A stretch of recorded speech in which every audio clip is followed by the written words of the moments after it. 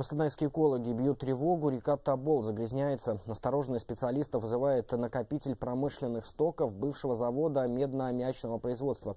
Предприятие прекратило работу в 80-е годы, а отходы остались. И находятся они в непосредственной близости от реки.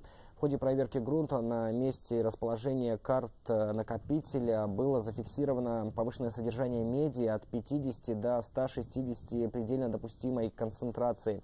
Во время весеннего паводка опасные примеси попадают в реку. Это негативно а, сказывается на качестве воды, считают экологи.